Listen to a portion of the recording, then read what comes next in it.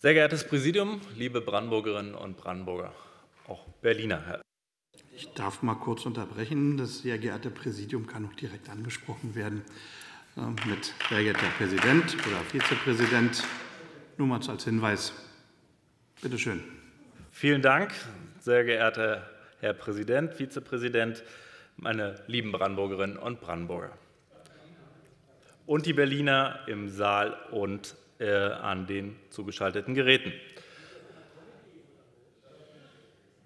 Wir sind hier im Brandenburger Parlament und wenn Sie Ihre Zwischenrufe stoppen würden, dann könnte ich auch mit meiner Rede beginnen. Meine sehr verehrten Damen und Herren, das Thema ist ein ernstes. Der RBB ist in schweren Fahrwassern, immer noch.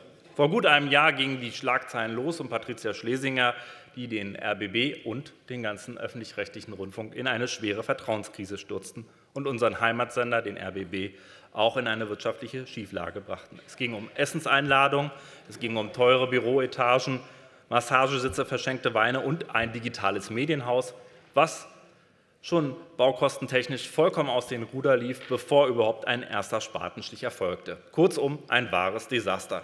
Deshalb ermittelt heute die Staatsanwaltschaft und die Landesrechnungshöfe haben ihre Prüfberichte vorgelegt. Die Politik in Brandenburg und Berlin diskutiert zu Recht umfangreiche Änderungen am RBB-Staatsvertrag. Der RBB-Staatsvertrag, das wissen Sie, regelt die innere Verfassung der, unserer gemeinsamen Rundfunksanstalt und hier gibt es keine Frage umfangreiche Änderungsbedarfe.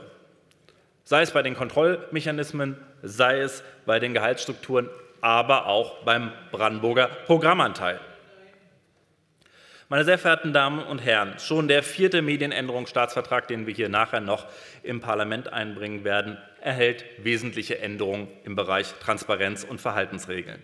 So müssen künftig Intendanten ihre Gehälter offenlegen, unabhängige Compliance-Beauftragte geschaffen werden und für Aufsichtsgremien werden betriebswirtschaftliche und rechtliche Qualifikationen festgeschrieben. Ein Herr erster Schritt ist gemacht. Lassen Sie eine Zwischenfrage an Mikrofon. Nein, lasse ich nicht. Meine sehr verehrten Damen und Herren, die Brandenburger Landesregierung hat auch deutlich gemacht. Erstens, der RBB-Staatsvertrag wird zügig novelliert. Zweitens, die Vorschläge der Landesrechnungshöfe werden dabei Eingang in den künftigen RBB-Staatsvertrag finden. Und drittens, ja, das bedeutet auch ein Gehaltsdeckel für das RBB-Führungspersonal.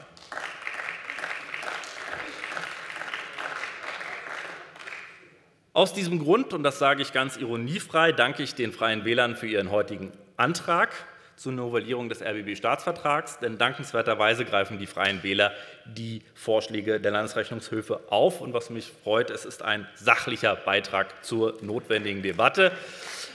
Der Antrag ja, die Ausführungen na ja, ähm, erinnerte doch ein bisschen an den Karnevalsantrag, aber egal. Was mir nicht gefällt an den mündlichen Ausführungen der Freien Wählern in der Presse in den vergangenen Tagen. Ähm, darauf gehe ich gleich noch ein. Der RBB hat sich nämlich einen strikten Aufklärungskurs verschrieben und unter der Interimsintendantin Frau Dr. Farnau einen harten Sparkurs eingeleitet. 49 Millionen Euro, 49 Millionen Euro binnen zwei Jahren müssen eingespart werden, um den Sender zukunftsfest zu machen. Das ist kein einfacher Weg, denn das Programm soll ja attraktiv bleiben. Das sind wir doch den Fernsehzuschauern und den Radiohörern in Brandenburg und Berlin schuldig.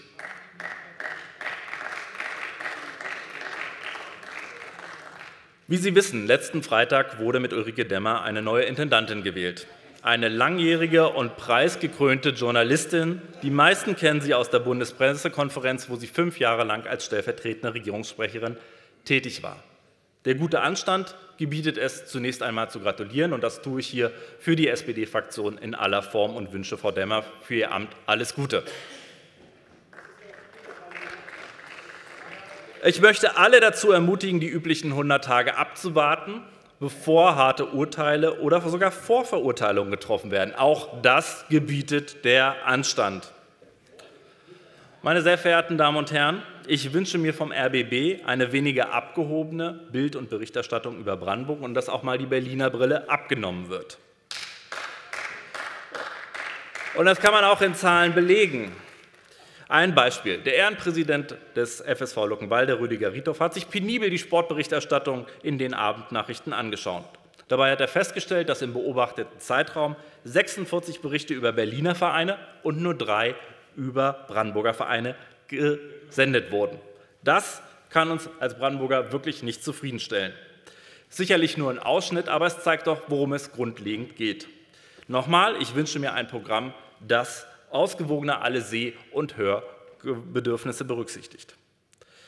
Meine sehr verehrten Damen und Herren, um den RBB auf einen guten Kurs zu bringen, braucht es einen guten RBB-Staatsvertrag. Und da sind wir uns doch alle einig, lassen Sie uns den RBB-Staatsvertrag zügig mit vereinten demokratischen Kräften novellieren, aber auch ohne ähm, Polemik. Deshalb überweisen wir in den Antrag der Freien Wähler ein Wort, einen Satz zu dem Antrag der AfD. Der dürfte im Hinblick auf Artikel 3 und Artikel 21 verfassungswidrig sein. Mehr habe ich dazu nicht zu sagen. Dankeschön.